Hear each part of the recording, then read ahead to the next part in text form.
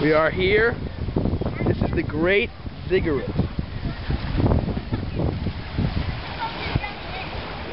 Built today by me and my father. From I learned about it in archaeology. And we built it today. My dad's good at sandcastles, so I helped him out.